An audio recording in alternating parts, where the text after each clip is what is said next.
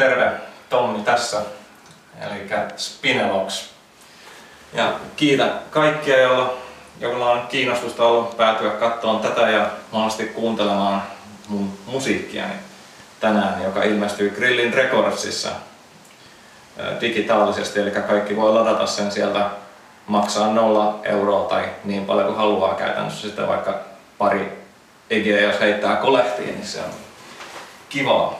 Mutta joo, eli siis mun, mähän on alun perin kun mä näin, näin siis mä en tänä päivänä näe mitään, mutta kun mä näin lapsena alle 14-vuotiaana, niin mä piirsin ihan älyttömästi joka päivä oikeastaan ja maalasin ja sitten vielä sen, senkin jälkeen mä oon tehnyt sitä, kun mä en ole nähnyt, mutta vähemmän ja sitten mä olin ää, tai mä luin kirjoja, jossa innostuin niihin ja sitten mä aloin kirjoittaa.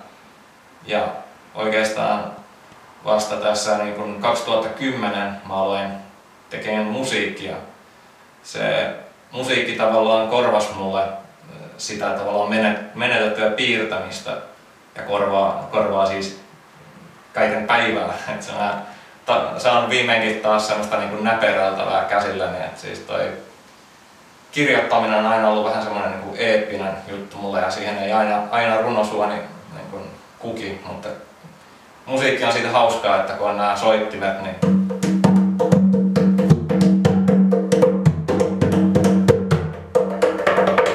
näitä vaan kolkuttelee ja painelee nappeja, niin siitä syntyy musiikkia ja sitä voi nauhoittaa ja joskus syntyy semmoistakin, mistä ihmiset toisetkin tykkää. No niin, siis 2010 mä hankin nämä rummut, pistin ne, tai huomasin, että sängyn vieressä oli tyhjää tilaa ja päätin ostaa tämmöiset.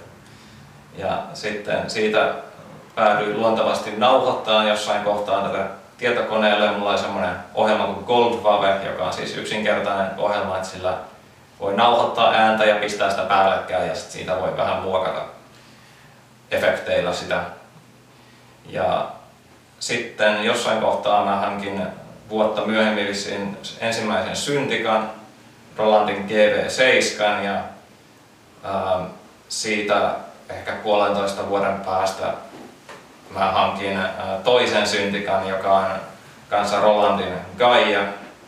No, molemmat mulla edelleen käytössä. Mä teen, toisella mä teen enimmäkseen, otan siitä rumpusoundit ja toisella mä teen sitten kaiken sen synteettisen matskun. Ja näitä rumpuja mä en vielä pysty nauhoittamaan.